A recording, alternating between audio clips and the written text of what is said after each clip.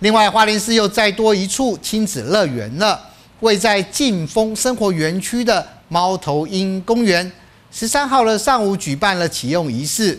不怕日晒雨淋的半户外游憩空间，有猫头鹰造型的溜滑梯、小吊桥、草皮小山丘和户外秋千等等，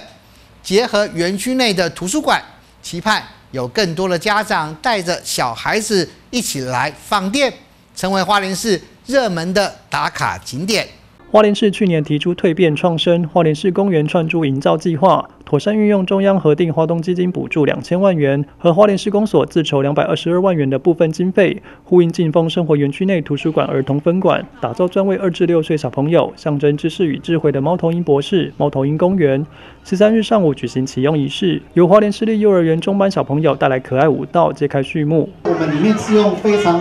呃，好的一个软垫，那也希望孩子哈，呃，不论在奔跑或者是任何情况之下，比较不容易受伤。那我们这些游具的部分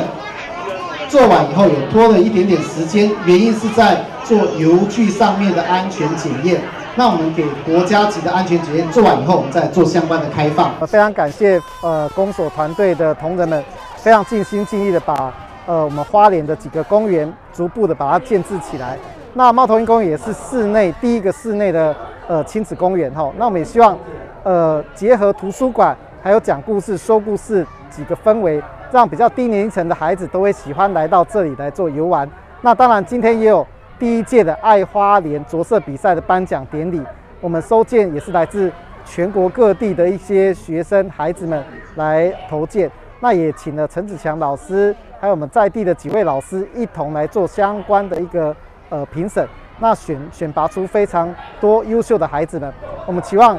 用各种不同的方式触发孩子的创意跟思维，那也希望亲子公园能够带给孩子快乐的童年、快乐的记忆。那未来我们会持续的推动几个公园再改造，让更多有趣好玩的。游具能够进到花莲市。除了启用仪式，魏家贤接着颁发第一届爱花莲杯着色比赛得奖者。魏家贤感谢施工所团队致力打造亲子公园，在他任内六年，逐一完成亲子游憩空间。猫头鹰公园除了溜滑梯、荡秋千、小吊桥，让小孩放电，也打造草皮小山丘，未来可做校外教学或图书馆活动场地。花莲市第一个不怕日晒雨淋的半户外游憩空间，期盼为小朋友带来快乐童年，为亲子留下美好回忆。